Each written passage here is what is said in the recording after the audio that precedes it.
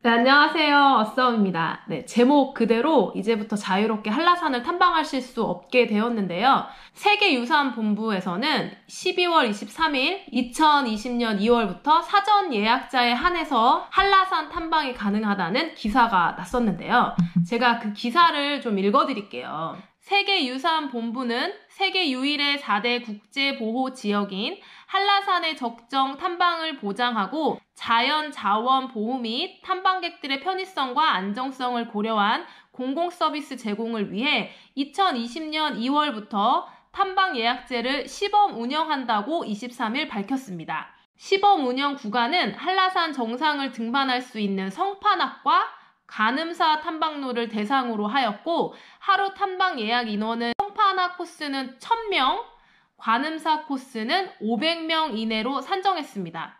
탐방 예약제는 시스템 구축 및 자체 시험 가동이 완료되는 1월 중 예약을 받기 시작하고 2월 탐방객부터 적용 시작돼 12월까지 11개월간 운영된다고 합니다. 예약 방법은 한라산 국립공원 탐방 예약 시스템을 이용한 인터넷 또는 전화로 예약이 가능한데요.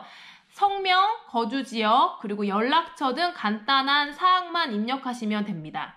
탐방일 한 달 전부터 예약 접수가 가능하고 단체인 경우는 1인이 최대 10명까지 예약이 가능하다고 합니다. 또한 노약자나 외국인 등 사전에 예약하지 못한 정보 취약계층을 배려해서 탐방 당일 자녀 예약 인원 범위 내에 현장 발권도 병행해 시행한다고 합니다.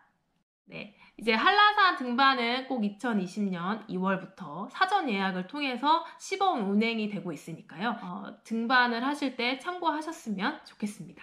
네, 모두 봐주셔서 감사합니다.